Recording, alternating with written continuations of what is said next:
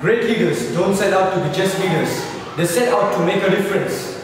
It's never about the role, always about the goal.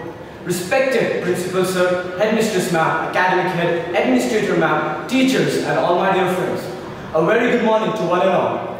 I am Aziz Ahmed of grade 10 standing for the post of sports captain. I will tell you what practically I can do for this school and for all of you. I would like to begin with my symbol. My symbol, which represents the Marvel superheroes or the Marvel Avengers. We learn a very important fact from these Avengers that with teamwork and with good leadership, we can achieve anything. These Avengers had only achieved their goals with their teamwork and with the great leadership by Nick Fury. Nick Fury being a great leader leads the team and makes them know the importance of teamwork. If you consider yourself as the Avengers struggling to succeed your goals, then I will be your Nick Fury to lead each and every one of you in various sports.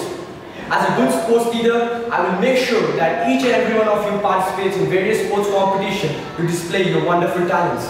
As a good leader, I will listen to everyone's opinion. I will be pleased for your precious advices. I will give my best to achieve my goal and to make our school proud in various sports competition.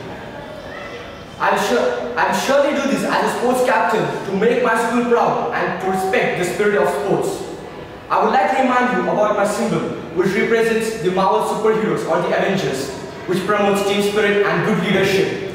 So your vote for me is the vote for the Marvel Avengers. Your vote for me is the vote for team spirit. Your vote for me is the vote for good leadership. Your vote for me is the vote to make our school proud. Thank you for listening and I hope you vote for me.